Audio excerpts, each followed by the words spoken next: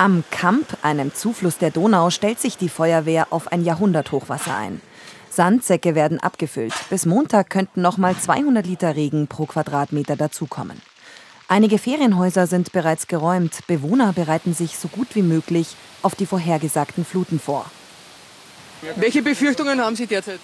Nur, dass das Wasser so hoch steigt, dass das da über die, über die Stelzenhöhe hinausgeht in, in Deckenhöhe. Nicht?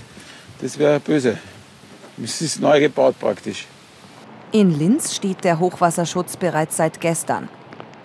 In den Einsatzzentralen ist man auf alles vorbereitet.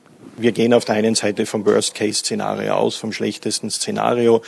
Niederösterreich, ähnlich wie Bayern, ein, ein, großes Bundesland. Wir haben 1700 freiwillige Feuerwehren, äh, auf die wir hier mit fast 100.000, über 100.000 Mitglieder zurückgreifen können. Freiwillige Feuerwehren sind immer in Einsatzbereitschaft. Auch in Österreichs Nachbarländern wie hier in Slowenien hält der Dauerregen die Menschen in Atem. Erste Überflutungen. Die Reka schwillt zu einem reißenden Fluss an, innerhalb von nur zwei Stunden. Und es soll weiter regnen, beziehungsweise schneien wie hier im Westen Österreichs.